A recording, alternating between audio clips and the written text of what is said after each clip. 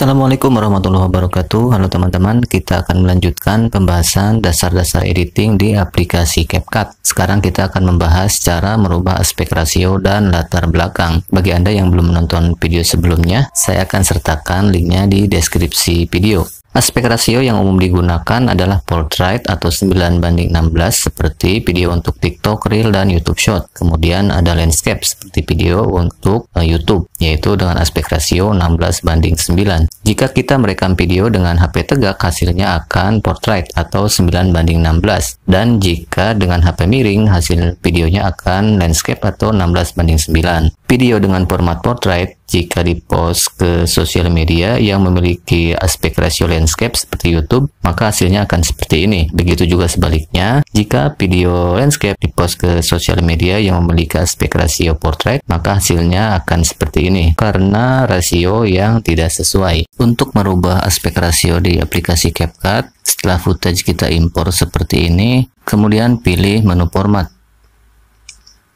setelah kita klik, ada beberapa pilihan aspek rasio. Pilih sesuai kebutuhan. Saya memilih aspek rasio 9 banding 16. Karena footage video yang diimpor memiliki aspek rasio 16 banding 9, maka di layar akan terlihat seperti ini. Ada bagian kosong di layar yang berwarna hitam. Ada dua cara agar video ini memenuhi layar. Yang pertama kita seret dengan kedua jari seperti ini. Cara ini cocok untuk video beresolusi tinggi karena biarpun kita perbesar biasanya gambarnya tidak akan pecah. Kemudian cara kedua kita gunakan fitur kanvas. Caranya kita klik tombol kembali yang ini. Kemudian pilih menu kanvas. Nanti akan ada tiga pilihan kanvas untuk menutupi layar hitam, yaitu warna, latar belakang, dan kabur. Untuk warna, kita bisa pilih seperti ini.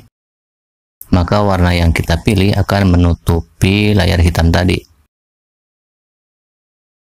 Kemudian untuk latar belakang sama seperti warna, kita tinggal pilih maka latar belakang yang dipilih tadi akan menutupi layar hitam.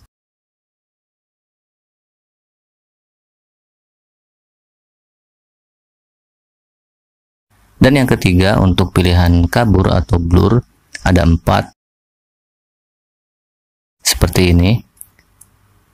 Layar hitam akan tertutupi oleh video yang sama tapi dengan efek blur atau kabur sesuai dengan uh, pilihan yang kita pilih.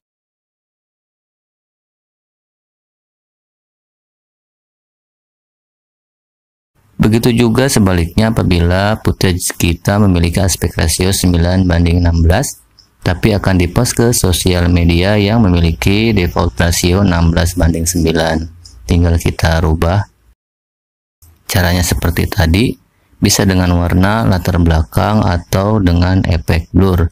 Maka layar hitamnya akan tertutupi Demikian video kali ini, semoga bermanfaat buat teman-teman yang sedang belajar editing video. Kritik, saran, dan pertanyaan silahkan tuliskan di kolom komentar. Semoga bermanfaat. Assalamualaikum warahmatullahi wabarakatuh.